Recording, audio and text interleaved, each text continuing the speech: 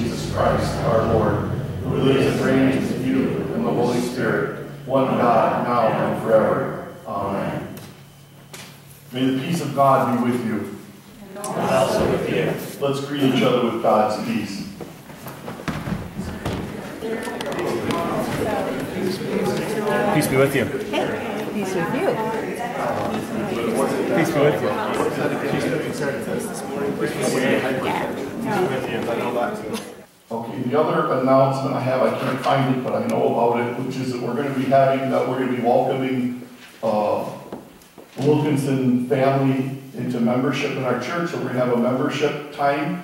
If you, if you're not a member and you would like to be a member, see me, just talk to me after the service, because, uh, it's good to, how do you say, we're gonna love you, and you be part of our family whether you're a member or not. But as a member, I think it says that we're, we're joining together and you're making the same commitment that you would make in any other kind of thing where you make a covenant to say, this is my family, this is where I belong. So just would uh, encourage you to think about that. Who's going to do the first reading? Thank you, Terry. How about our second reading?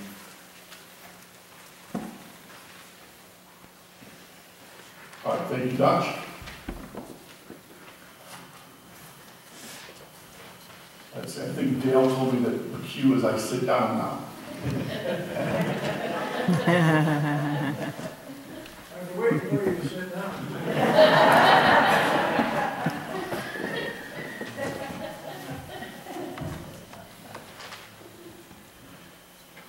First reading of Genesis chapter 12, 1 through 9. Now the Lord said to Abram, Go from your country, your kindred, and your father's house to the land that I will show you. And I will make you a great nation.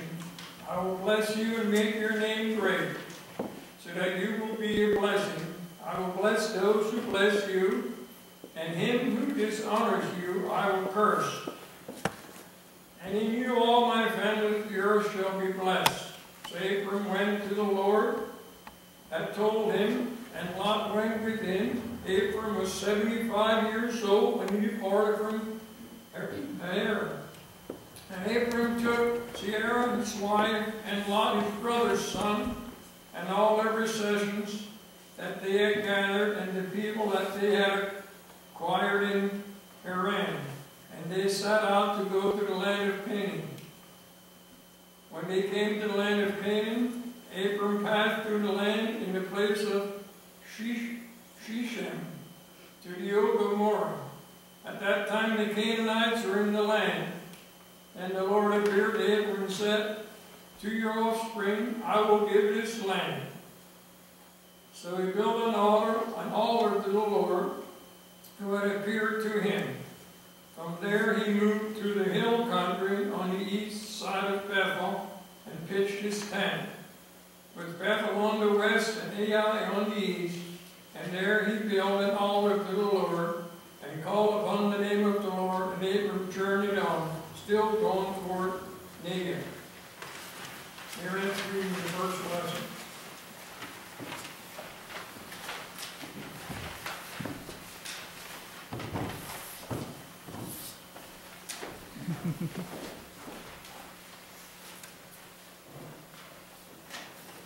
Our psalm is from chapter 121.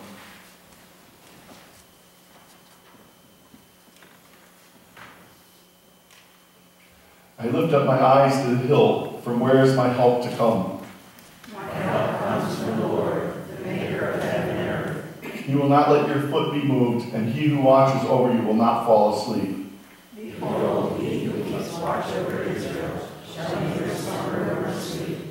The Lord himself watches over you. The Lord is your shade at your right hand.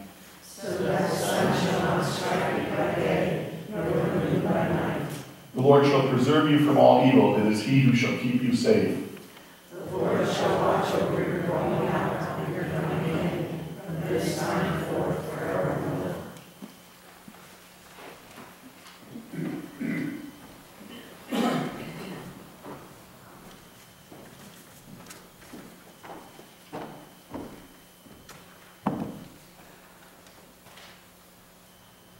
second readings from Romans 4.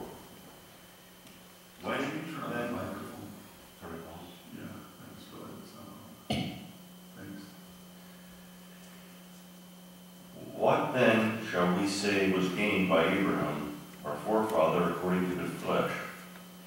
For if Abraham was justified by works, he has something to boast about, but not before God.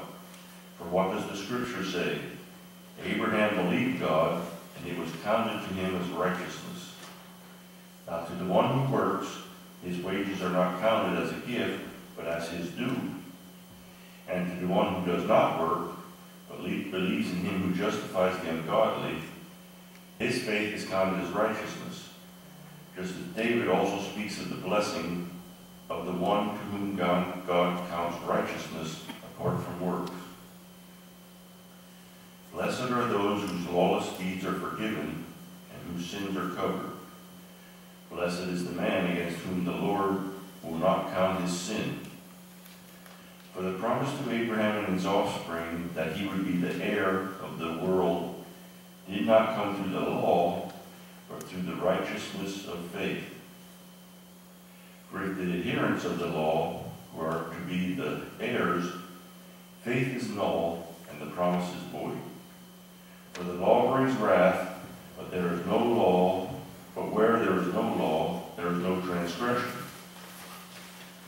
That is why it depends on faith, in order that the promise may rest on grace and be guaranteed to all his offspring, not only to the adherent of the law, but also to the one who shares the faith of Abraham, who is the father of us all, as it is written, I have made you the father of many nations, in the presence of God, in whom he believed, who gives life to the dead, and calls into existence the things that did not exist.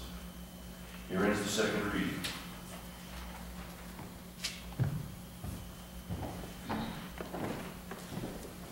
Would you stand with me, if you may, for the reading of the gospel?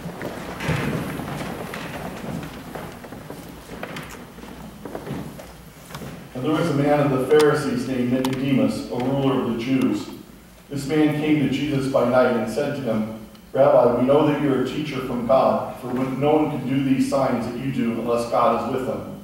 Jesus answered him, Truly, truly, I say to you, unless one is born again, he cannot see the kingdom of God. Nicodemus said to him, How can a man be born when he is old? Can he enter a second time into his mother's womb and be born? And Jesus answered, Truly, truly, I say to you, unless one is born of water and the Spirit, he cannot enter the kingdom of God. That which is born of the flesh is flesh, that which is born of the Spirit is spirit. Do not marvel that I said to you, You must be born again. The wind blows where it wishes, and you hear its sound, but you do not know where it comes from or where it goes. So it is with everyone who is born of the Spirit. Nicodemus said to him, How can these things be? And Jesus answered him, Are you the teacher of Israel, and yet you do not understand these things? Truly, truly, I say to you, we speak of what we know, and we bear witness to what we have seen, but you do not receive our testimony. If I told you earthly things and you do not believe, how can you believe if I tell you heavenly things? No one has ascended into heaven except he who is descended from heaven, the Son of Man. And as Moses lifted up the serpent in the wilderness, so must the Son of Man be lifted up, that whoever believes in him may have eternal life. For God so loved the world that he gave his only Son, that whoever believes in him should not perish but have ever eternal life.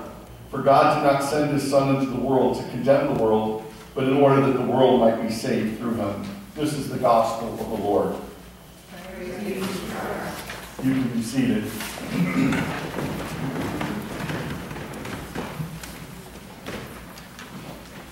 So we're in a sermon series titled How I Hate Dried Apple Pie, or Seven Sins God Hates and Abominates. And uh, if you weren't here last week, the poem How I Hate Dried Apple Pie is about a guy who, the entire poem is dedicated to his explanation that he hates the test of porters and hates dried apple pie. And I was talking at the beginning of our series how important it is, God's word says that we're to hate what God hates and to love what God loves. And so, since we're in the season of Lent, we're talking about sin and, uh, and sin that God hates. And in Proverbs chapter 6, verse 16 through 18, he lists seven things that the Lord hates and detests. And I told you last week that when when it's written like this, where it says there are seven, six things that God hates, seven that He abominates. Its goal is that we would have the six listed and know that the seventh is the one that He hates more than anything else. So the seven sins that the Lord hates and abominates is pride, which we talked about last week, a lying tongue, which we'll talk about this week, killing the innocent, wicked imaginations, those quick to do evil, false witness, and someone who stirs up trouble among friends. But we're going to focus in on the lying and, and the, uh, and, the, and the falsehoods, the bearing of false witness. Our culture is headed, I think, downhill morally very quickly. I think we see that, especially in the last 30, 40, 50 years. And one of the indicators is that lying and deception are so, uh, and deceiving are so commonplace that it's actually accepted and even expected. Uh, there was a survey done uh, not too long ago, and it, was from a book called um, The Day America Told the Truth.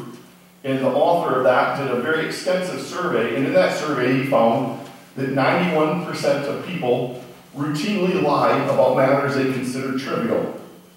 36% lie about important matters. 86% of people lie regularly to their parents. 75% to their friends. 73% to their siblings. And 69% lie to their spouses. So lying has become part and parcel of our culture. When our daughter Clara began uh, college a few years ago, she took a writing class, and in that class she wrote an article of, about life in an Eskimo fishing village. And uh, she laid it all out, and then she brought it to me, and she and I hammered out the grammar of the, of the uh, essay. And uh, I was really pleased with the way she wrote it and, and how it was, it was a good article, good essay. And she turned it in, and she received a zero on it with a note that said, do not plagiarize again. If you do, I will report you to the administration.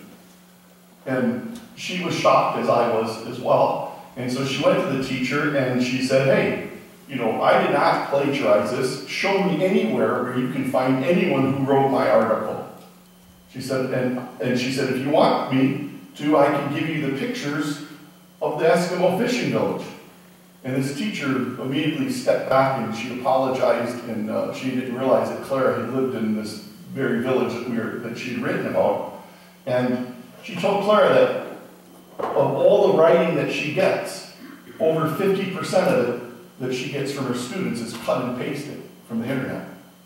And so she just assumed an article written with such detail and about some unusual and unique situation was obviously plagiarized. And she was, didn't even take the trouble to look to see it was plagiarized. She just assumed it, which is probably an indicator of just how terrible it is when a teacher just assumes that, that uh, something written is plagiarized.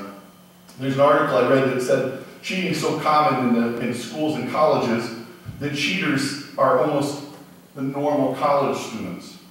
And so widespread is the practice of copying off another's paper that many students don't look upon it as even being morally wrong. They call it the good neighbor policy or the wandering eye. Well, it's lies part and parcel of this lost and fallen world that we live in, but it's not for us. Lying, deceiving, and cheating isn't for God's people. Because lying is the devil. John chapter 8 and verse 44 says, Jesus is speaking, he's speaking to the Pharisees. He said, You belong to your father, the devil. You want to carry out your father's desires. The devil, he was a murderer from the beginning, not holding to the truth, for there's no truth in him. When he lies, he speaks his native language. In other words, it's consistent with his character to lie, for he's a liar and the father of all lies. So, in other words, eh, lying is just purely right from the enemy. It, has, it should have nothing to do with God's people. There's a saying that honesty is the best policy, but a better saying is that honesty is the only policy when it comes to pleasing God. God says in His Word that He, that he abominates, He detests, abhors a lying tongue and a false witness who pours out lies. So I want us to look at some of what the, what the Scripture says about what God thinks about lying, because the Scripture is what we're supposed to use. It's the Scripture is what we're supposed to be shaped by. It's the kingdom's principles and it's the kingdom's goals that we're supposed to be looking to, to achieve. And so the, the, the Word of God shines light. It points out the goal that we're trying to reach. It helps us to focus on the target. Our nature's okay with sin. We're way, way back. Just, just wait till I say it, then it'll, then it'll come, right? So my next one I'm going to say is God hates lying. Poor, poor Connie trying to keep up with me or, or figure out where I'm at. Our nature's okay with sin, but the Holy Spirit lives and dwells in us, wants to empower us to live in the new nature and be like Christ. God hates lying. Here's the first scripture. The ninth commandment.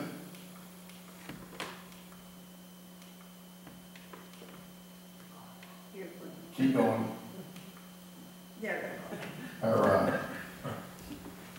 The ninth commandment, you shall not bear witness against your neighbor. Revelations 21, 7 through 8.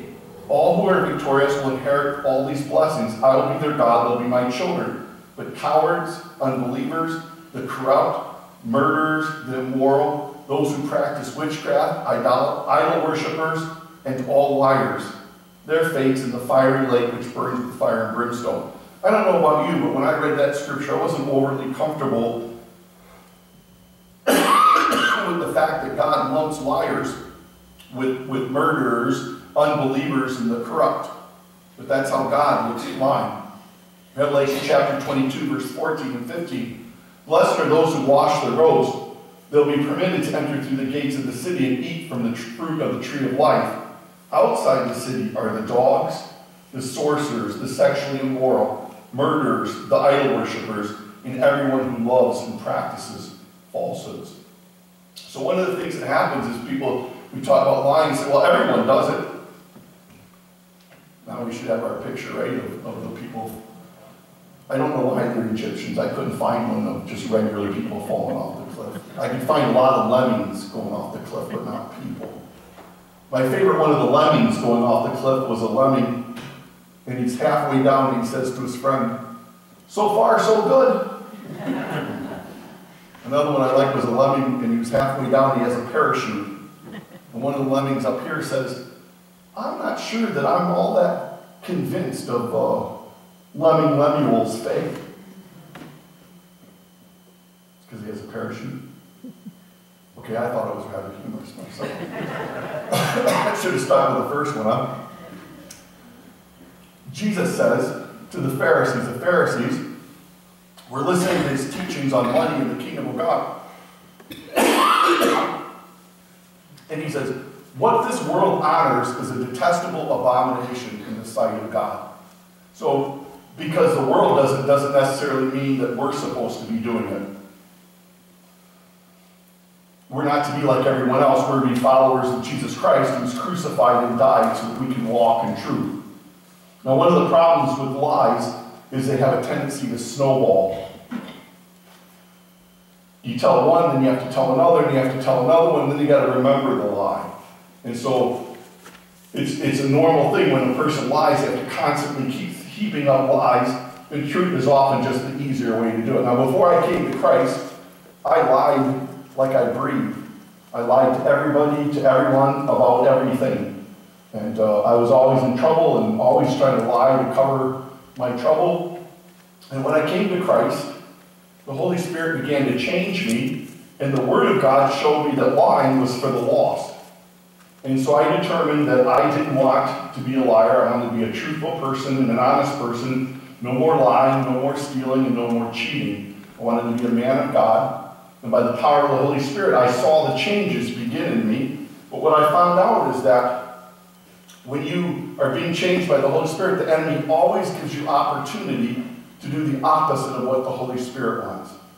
I was working at a, a factory in, uh, in, the, in the food department of it, and I had to, the, uh, one of the drivers, one that like took all the food to these vending machines. Like we had our own, we fed all the workers at that factory, but we also supplied food for these different factories and vending machines. That guy who had that job, that driver, got in at 5 a.m. and uh, he went on vacation for, I think, three weeks, and I took his place. And so I remember how I hated getting up that early and being at the, factory at 5. It was in Illinois, real cold, and I remember my old beater car half the time wouldn't start in the cold, and I'd have to put charcoal on top of a, of a garbage can lid, and I'd slide it underneath the engine to let the uh, heat get up there and warm up the oil enough to start the car. But anyway, I went to work, and so loaded up the van, went to these different factories, stuffed these machines, you know, and I'm supposed to be done, I'm supposed to be off of work at 1:30, and by 9:30, 10 in the morning, I was done. I thought, well, I must have missed something, I'm not doing something right, so I went back to the factory and went ahead and got everything ready for the next day. Mm, I'm still, it's only like 11, and I got two and a half hours and I'm done. So I just didn't know what to do. So I did whatever they asked me to do and went home. I told my dad about it that evening. And he said, son, you can't do that. I said, what? He said, you can't mess up that guy's gig. I said, what are you talking, I don't know what you mean. He said, you, he said, listen, he said, if it takes that guy until one o'clock to get back to the factory, it needs to take you that long too. I said, but it doesn't take that long. I said, if I do the job, I said, I'm done 9.30. I said, 10 at the very most. He said, no. He said, you go park somewhere. My dad was, wasn't a, didn't become a believer until he was 70 years old. And he thought like a lot of people of the world, which is that he not only wanted me to lie, he wanted me to continue that guy's lie. Well, as a Christian, I'm stuck in a, in a difficult position. But the bottom line is I got to make a decision whether I want to please that guy or I want to please my Father in heaven. And so I decided I would just please my Father in heaven, and if it got that guy in trouble, that's not my problem, that's his problem for lying. Now, God worked the whole thing out for that guy, because he must have been praying, no goody two-shoes would ruin his program, because I drove that van into the side of a, of a semi-truck trailer that was sitting out by the factory. Like I pulled in too close, and I hit the corner of it, and it just crunched in the whole van's corner. Nobody cared what time I got back from that point on. All they knew was I was the guy that wrecked the van, that damaged the van. And so, and he came back to work and he was a hero because he'd been working there for 10 years and he never got a scratch on that van. Right? But anyway, lying is one of those things where we tell one lie, we've got to keep telling lies, and we have to make the decision whether or not we're going to try to please God.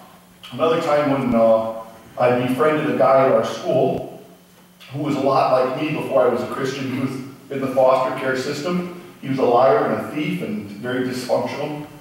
And uh, I shared the gospel with him, tried to would invite him to church, take him to church. And one Saturday morning, Mary and I were been married maybe a year or so. He calls me up and he says he wants to go Christmas shopping at the mall. And would I take him there?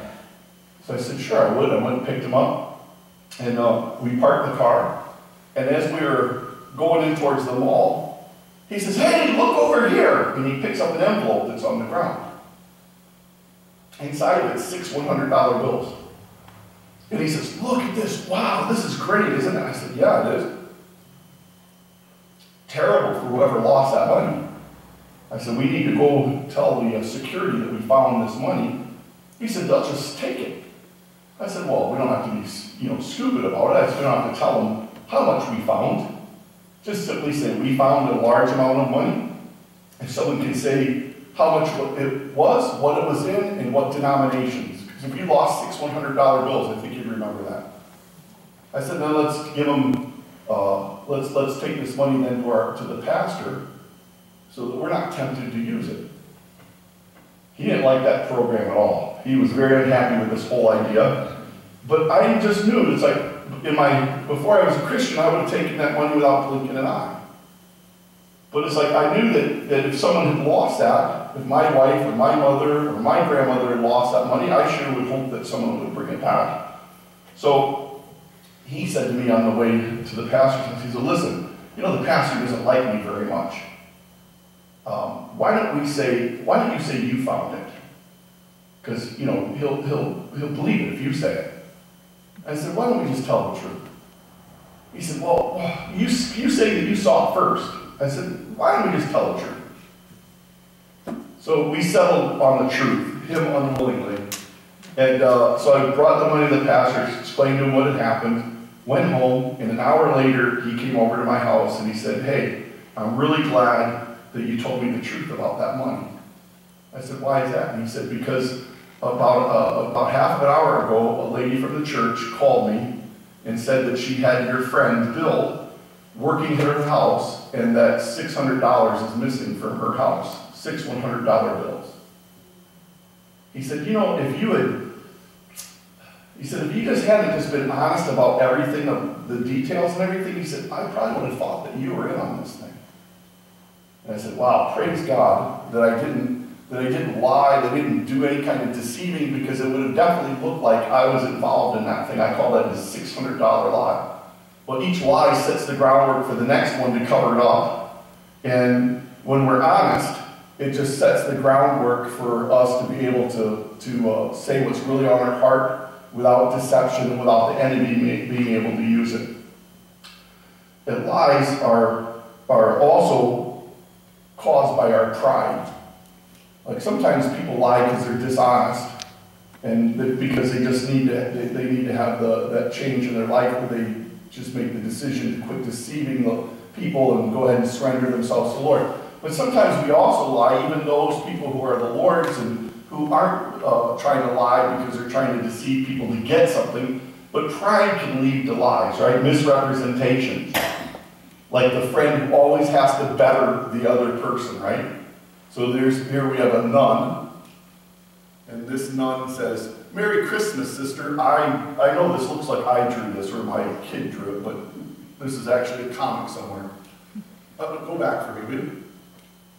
Merry Christmas, sister. This nun is giving this, this nun a present, and this nun always wants to give the best present. Now go to the next one. Oh, another Bible, the perfect gift.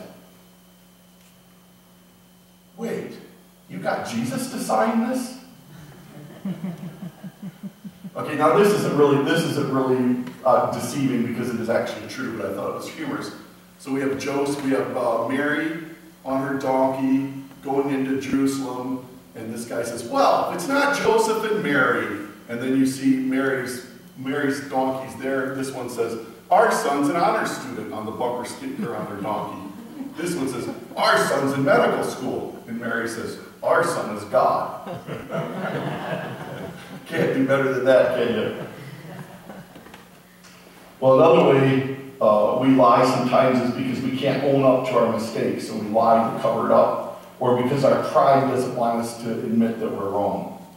But God's God's desire is that as His children that we is that we would walk integrity, that we put away the old and put on the new. This is what God's word says in Ephesians chapter four, verse twenty-two. Throw off your old sinful nature and your former way of life, which is corrupted by lust and deception. Instead, let the Spirit renew your thoughts and your attitudes. Put on your new nature, created to be like God, truly righteous and holy. Verse 25 No more lying then. Each of you must tell the truth. Amen. So it's part of the new life that old things are passed away. Some need to be put away. We're to throw off our ideas and our attitudes of the old life, and we're to walk in a manner worthy of our calling. To walk in integrity, we want to make sure that we aim to please God. Make it our goal to not get caught up in lying so we can please the Lord. We answer to Him not to others in our culture. It's His command that we walk in integrity, that we speak the truth, in parentheses, in love. Remember that, right? So we're talking about speaking the truth and the truth. We're always to tell the truth in love, so we're never to use the truth as a weapon. So speak the truth in love. And our motivation is to please God because I want to love the Lord and with all my heart. Because of my, of my love for Him, that's why I want to be like Him. Amen? Is that what motivates us? We want to be like the Lord because He's given everything for us. Number three is we should just follow the leader, just like we talked about last week. Jesus is the perfect example in everything. 1 John 2 6. Whoever says that he abides in Jesus ought to walk in the same way in which Jesus walked. We want to follow Jesus. God does not lie. Jesus is the truth. So let's love the Lord and in that love be like him. We want to make sure that we talk the truth and we walk the truth. Tell the truth about God. Tell the truth about His Word. Be honest, truthful in our dealings with others in our business. No false weights, no cheating people, no deceiving people. And number four, which is probably the one that's really important, maybe most important, is remember that intimacy with God helps us. God's word says in 1 Chronicles 22 19, devote your heart and soul to seeking the Lord your God. When we have intimacy with God, it helps shape us, it conforms us into his image. In other words, when we spend time with the Lord, when we're in his word, it's very difficult if we just simply spend time in his word. His word has power to shape us. His word speaks to our hearts through the Holy Spirit, showing us what we're doing wrong, showing us what's right, pointing the way to the Lord. When we spend time with the Lord, it's in those moments when we pray, read His Word, we just spend time with Him in fellowship, that we can hear the Spirit of God whisper to us so that we can be corrected and transformed and changed. Uh, and, and, and, and speaking of like spending time in the Lord, we were talking about last uh, last council meeting about uh, as a church we want to grow in our intimacy with the Lord as a congregation, and uh, and one of the ways to do that is to, is to try to spend time daily with the Lord, and that's not to be a guilt trip. I know a lot of people they feel guilty because they, they didn't spend time in prayer or in the Word of God every single day. Well, it's not meant to be a guilt trip to try to make a, a threshold so high that you can't do it and then feel guilty about it. The goal is that we would grow in the Lord, grow in spending time with Him. And so, anyway, we uh, got some of these booklets, uh, these devotions. Uh, the Daily Bread are back there if you don't get them. If you like them, they're in the back of the church there somewhere, or the front of the church, I guess. Then there's a couple of other ones. Uh, help yourself to them, share them with your friends. But our goal would be that we would draw near to the Lord. As we draw near to Him, then the things that He wants become normal for us. And the things that He doesn't want us to do will begin to prick our heart and our conscience when we're filled with this Word and filled with this Spirit. So let's not be like the world. Let's not be like the devil, the father of lies, but let us speak His Word in righteousness. Let's speak the truth. Let's grow in righteousness and aim to be like our Heavenly Father. Be honest and loving in all things. Amen. Let's pray. Father, we thank you, Lord, for your word, and we thank you that you set for us, Lord, the principles and the commands of your kingdom, and they're, they're an easy yoke. Lord, you said that your way is the easy way, and Lord, to, to be righteous and to follow your path is easier than all the work it takes, Lord, to, to uh, follow the enemy's way and all the, the fruit that comes from it. Lord, we thank you that the fruit of following you is good, the abundant life, joy, and peace and righteousness. So, Lord, help us not to get lazy and not to fall back into old patterns. Help us, Lord, not to get sucked into the ways of the world, but, Lord, that we would follow you in your kingdom and your principles. In Jesus' name, amen and amen. Our hymn is number 692, God Will Take Care of You, in the celebration hymnal.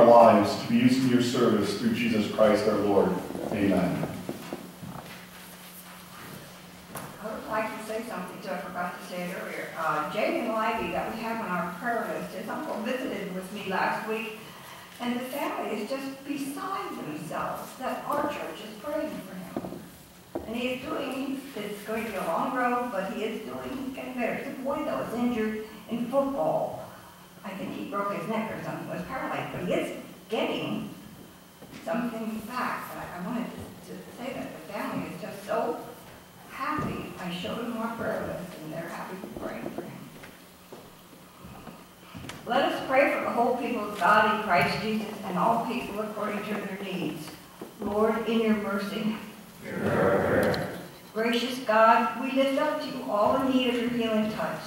We especially pray for Robin, Arabelle, Terry and Dawn, Bonnie, Sandra Wynn, Lois, Peggy, Polly, Joyce, Magdalena, Betty and Judy, Carrie and Grace, Leah Shea, Leroy and Audrey, and all those who are part of our church family, and those we call out to you.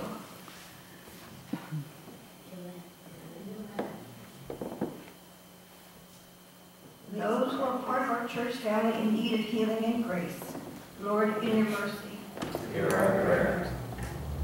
Lord, we lift up to you all who are part of our church family that are in care centers and nursing homes, and ask that you give them a sense of your presence and peace that goes beyond circumstance. Lord, in your mercy. Hear our prayer. Father, we lift up to you our nation and our leaders. Grant wisdom that they may lead according to your will. Lord, we ask that revival, spiritual renewal, and repentance will sweep our nation and turn the hearts of your people back to you. Lord, in our- your mercy. Lord, we pray for all those who are serving our country in the military and as soldiers. Especially we pray for Nathan, Matt, Kyle, Jeffrey. We ask that you guard, protect, and bless them in their work. Lord, in your mercy. Holy Father, we hold before you all who are suffering persecution, imprisonment, loss, and suffering for your name's sake throughout the world. Deliver them, grant them grace to endure, your power to remain faithful. Pour out your peace on them and their families. Lord, in your mercy. Into your hands, merciful Father, we commend all for whom we pray, trusting in your mercy through your Son, Jesus Christ our Lord. Amen. Let us pray the prayer the Lord has given us to pray. Our Father, who art in heaven, hallowed be thy name. Thy kingdom come, thy will be done, on earth as it is in heaven. Give us this day our daily bread, and forgive us our trespasses, as we forgive those who trespass against us. And lead us not into temptation, but deliver us from evil. For thine is the kingdom, the power, and the glory, forever and ever. Amen. Lord, as we're strangers and pilgrims on earth, help us to prepare for the world to come, doing the work which you've given us to do while it's day, before night comes when no one can work. And when our last hour shall come, support us by your power and receive us into your everlasting kingdom, where with your Son, our Lord Jesus Christ, and the Holy Spirit, you live and reign, God, forever. Amen. So as we go from this place, let's look for opportunities to be the body of Christ. That's who we are. Where we go, Jesus goes. So look for opportunities to encourage those who are discouraged. Look for opportunities to pray with those who need prayer. We're it. The Holy Spirit's in us. It's God in us. And God wants to do things. So be bold. Use, use opportunities as God gives them to you. And as you go, may the Lord bless you and may the Lord keep you. May the Lord make his face shine on you and be gracious to you. May the Lord look upon you with favor and give you. In Jesus' name, amen and amen. Our last song is Blessed Assurance, number 572.